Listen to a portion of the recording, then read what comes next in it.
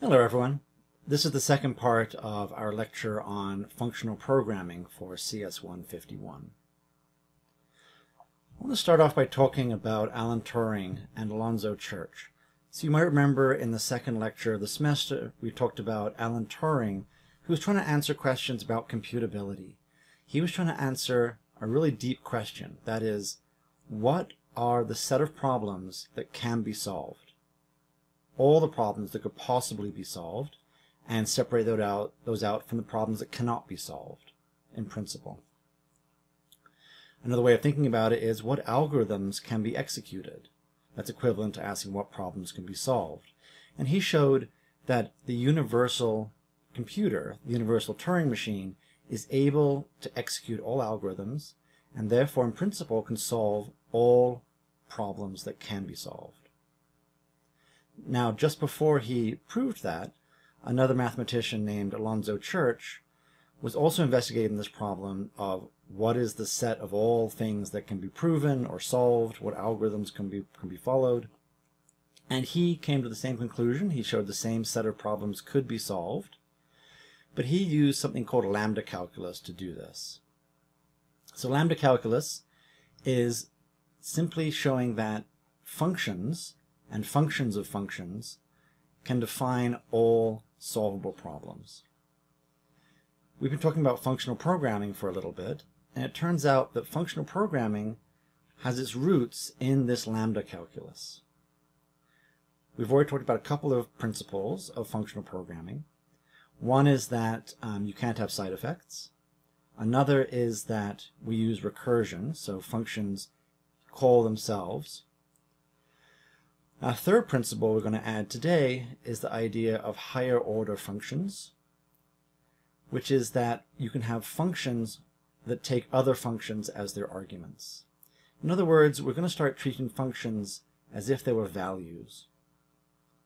Let me show you what that looks like from a practical point of view. And as an aside, this is why I think computer science is really interesting.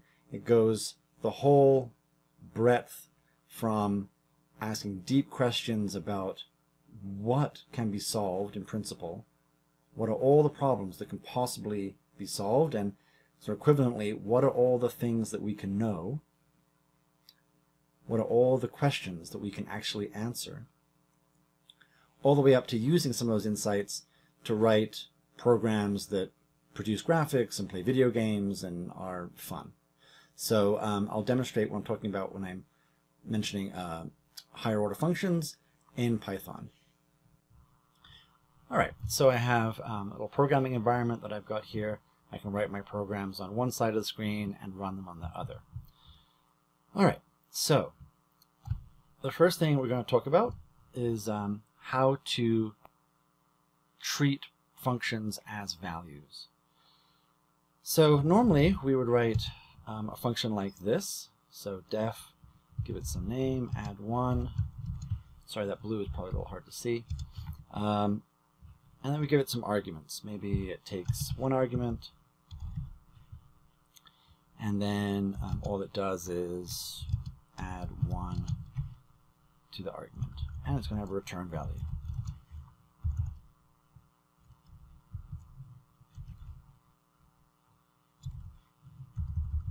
And as always, I'm writing super simple examples of functions. These are trivial things so that you can understand the concepts behind how we're writing these functions uh, rather than all the detail that might go into a real example. A real example might be dozens of lines long or hundreds of lines long, but use the same principles to solve a problem that I'm going to show you here for something trivial like adding one to a number. All right, so this is how we've defined functions in the past. Um, you see this function has the name add1. And now I can just say add 1, and let's give it argument 3. And of course it's printed so you can see the result.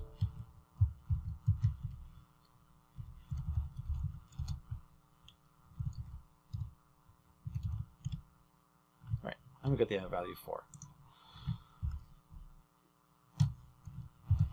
But often, for example, when I use this 3 here, that's a value. It's an object in Python, but I didn't bother to give it a name. I didn't write something like x equals 3 and then x down here, it's just uh, redundant to do that. We, everyone knows what I mean when I just write 3. I'm going to create that object and use it right there. I don't need to keep track of its name. So we can apply that idea to functions as well. Um, the way we're going to do that, the way we're going to create functions as values, is with the lambda keyword. So remember, lambda calculus is where a lot of this comes from. That's why we use uh, the lambda keyword. So lambda is a a Greek letter of the alphabet that Alonzo Church used throughout his lambda calculus. All right, so lambda x colon x plus 1. So the way this works is we have a lambda keyword here. This is not the name of the function. This is a keyword saying create a function value. The first um, variable after the lambda keyword is going to be the name of the argument that's being passed in. And then we have one expression here, x plus 1, no return value, notice. And the value of this whole function, when it's applied to something, is going to be the argument plus 1. Notice I'm being careful not to talk about talk about the, um, the value of the function because this function hasn't been applied to anything yet. So the value of the function is simply its definition. It's what it could do if it was given an argument. All right. So if I were to say print lambda here, just like this,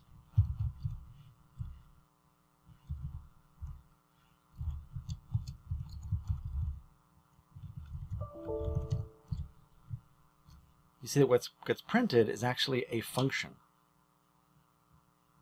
This is actually a function object. You maybe could think um, as an analogy of this lambda as being like instantiation of a class.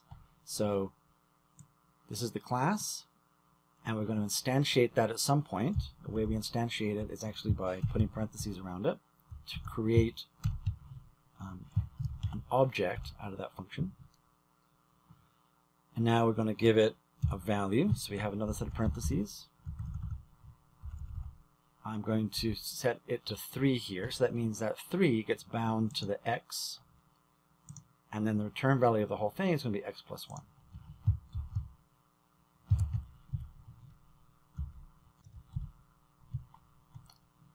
And sure enough, we get 4.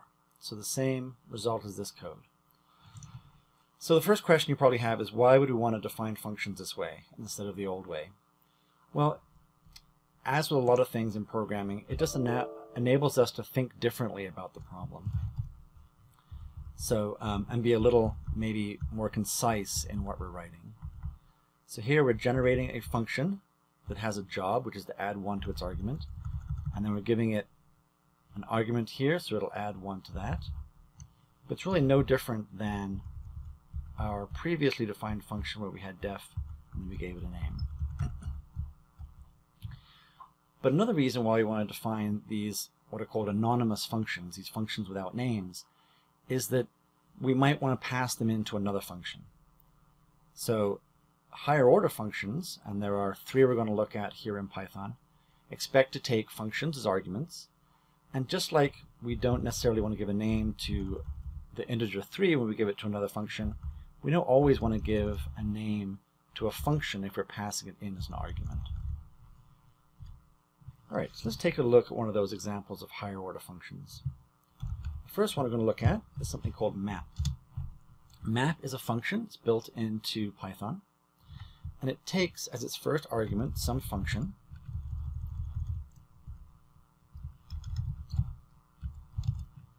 And then a list. So let's say 1 through 5 is our list. And it's going to apply whatever function is passed in as the first argument to each element of the second argument list. And then it's going to return the result of applying that function. Now in Python 3, um, when you do a map, you actually get a map object back as the return value. That's really important for um, efficiency reasons later on.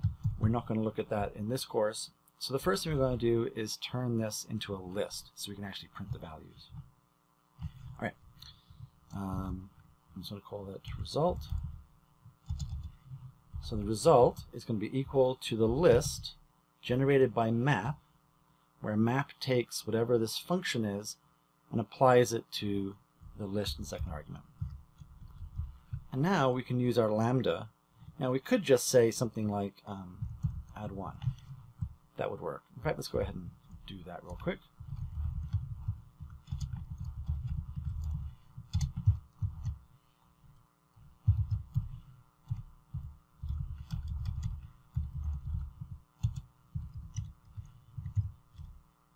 As you can see, we get the list back where we've added one to each element.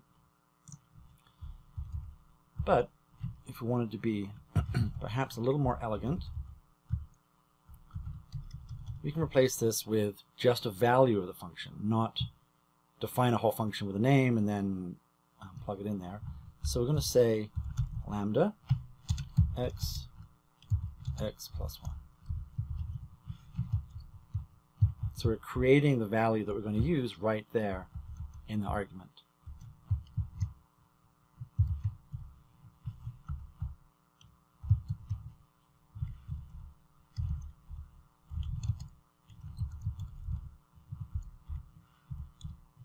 And we get the same answer.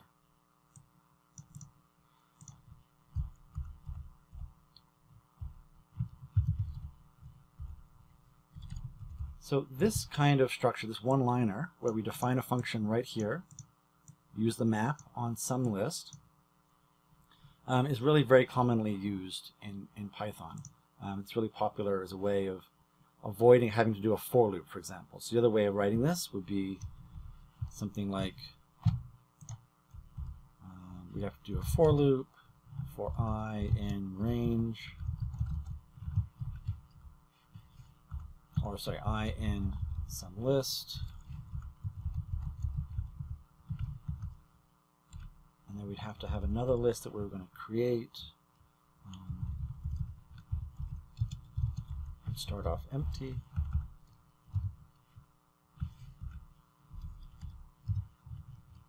And we would say result.append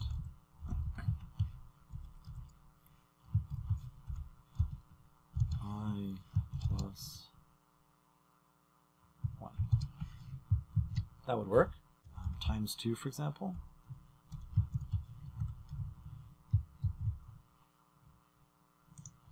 And we could do that here as well. So we would just say times 2.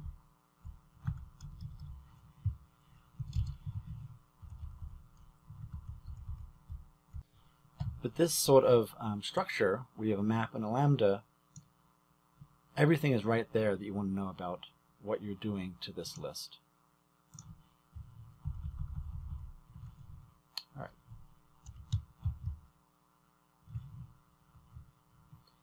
The second higher order function that I want to show you uh, is something called filter. So filter is very much like map. It's going to take some function again, but this time the function has to be a Boolean function, has to return true or false. And that function is going to be applied to every element of a list. So let's do the same thing here. Create a list. And let's define a lambda with one argument again and it's just going to check to see whether that argument is less than 4. So this is a comparator. It's always going to return a Boolean value. And what will happen is it'll create a new list that only contains the elements of the old list, of the input list, for which this lambda is true, which this function is true. In other words, it's going to return all the values in the input list that are less than 4.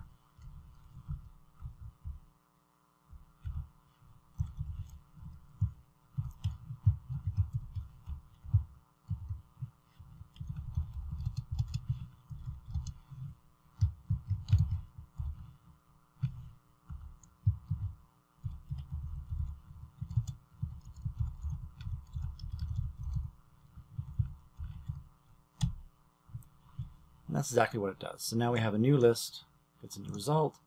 It's just uh, 1, 2, 3. You can easily change this, this lambda function.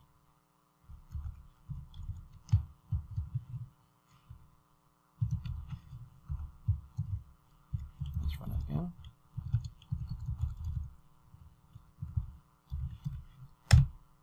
And we just get the values that are greater than 4 now.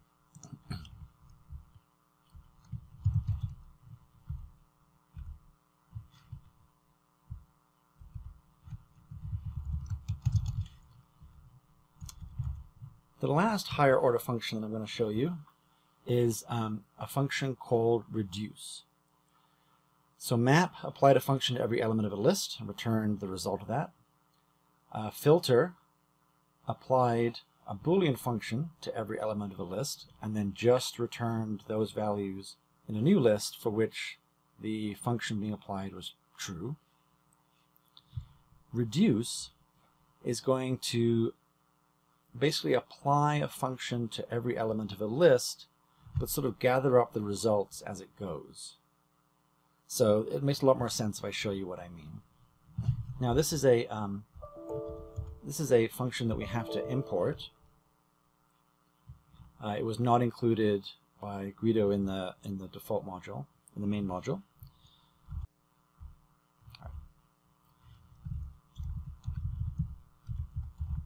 So reduce, again, takes a function as its first argument and a list as the second argument. Now, the fact that it has a list as the second argument is not what makes these functions higher order functions. What makes them higher order functions is that they take another function as their argument. And you can imagine that if you had higher order functions, they could take other higher order functions as their arguments. You can get extremely complex very, very fast. And that's why Church was able to show that you could compute all functions by doing that. All right, so let's create another lambda. Now, the argument, the functional argument that goes into reduce has to take two arguments. So let's say x and y.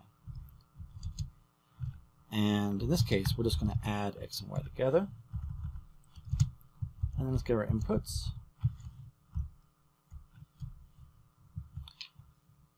These lists, by the way, can be any sort of sequence. Um, technically, they can be iterators, um, but for now, we'll just think about them as being as being sequences. Um, so, for example, a list of numbers, it could be a string, it could be um, a tuple. All right. So what this reduce operation is going to do is going to take this function that we just defined here that adds the first and second numbers together. It's going to take 1 and bind it to the first argument. So 1 becomes x, 2 becomes y, and adds those together to get 3. Then, and this is the trick in reduce, that result, 3, becomes the argument to x, and the next value in the list that we haven't looked at yet becomes y. So now we have 3 plus 3 is 6. So 6 goes back into x, and 4 goes in for y. We got 10. Then 10 goes in for x, and 5 goes in for y. That's why I was saying it sort of gathers up the result as it goes. So in this case, it's just going to sum up all the numbers in this list. And again, we could have written this with recursion or the for loop. This is just another way of thinking about how to solve these problems, where we take a function that we're defining here and then passing these arguments. So it sort of does the recursion for you. Instead of having to write a base case and a recursive step, um, because it's so common to do that, these three functions, all th these three functions, map, filter, and reduce, do that recursion for you. All right. Um, so whereas map and filter returned a list, reduce is going to return a single value because it's doing something to all the values and accumulating whatever operation it is uh, along the way. This could be multiplication, for example, in which case it would multiply all the values in the list.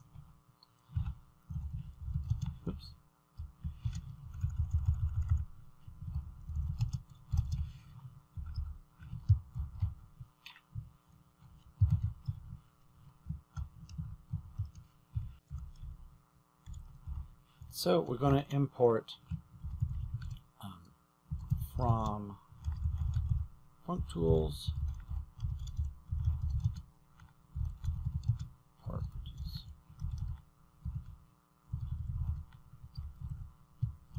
There we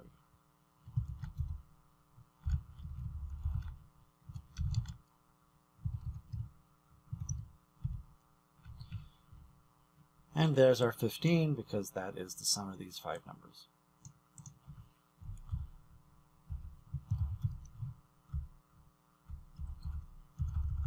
And again, we can just easily change this to multiplication. So it'll just take 1 and 2, multiply those, 3 goes in for um, y, the product of 1 and 2, which is 2, goes in for x, and so on.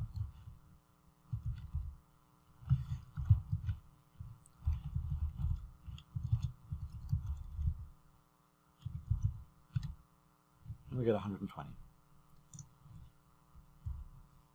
All right. And let's use palindrome as an example of filter. That's always our go-to example. Um, let's make some palindromes here. Uh, let's see. Race car. Not race car is not a palindrome. Let's see what else is there. Um, rewire.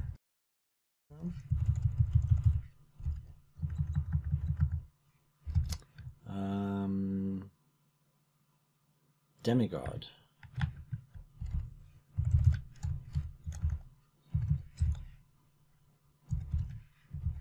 Is not a palindrome.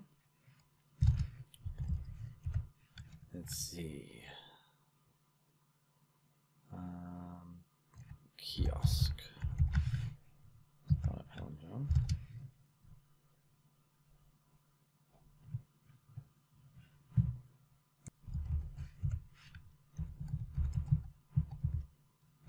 A Santa NASA is a palindrome. All right, so probably the um, simplest way to actually test this of all the ways we've looked at over the semester is just to say some word W is that equal to its reverse.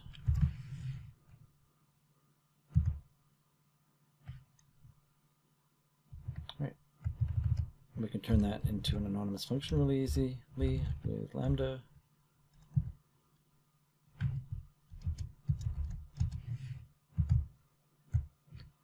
Then let's filter our list P by whether the um, elements are palindromes or not.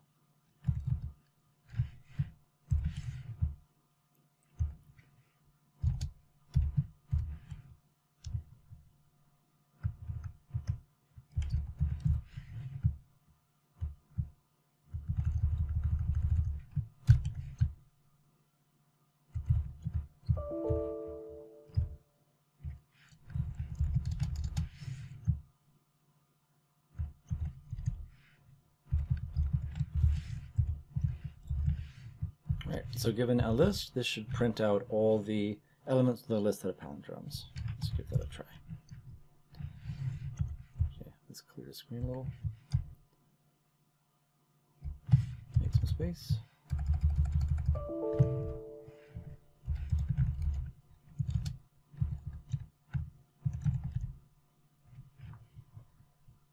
And there we go. Yep.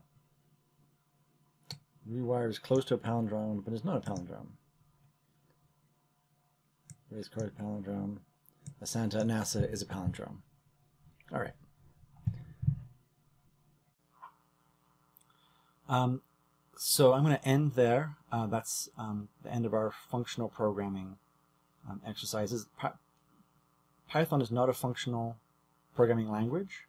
Uh, there are lots of functional languages out there like Haskell and Scheme that um, rely very, very heavily on these kinds of concepts of recursion, no side effects, and higher order functions. But Python is really popular because it supports all kinds of different programming paradigms, object-oriented programming, procedural programming, and has quite a bit of support for functional programming as well. All right, um, I hope to see you soon, and that ends this video. Goodbye.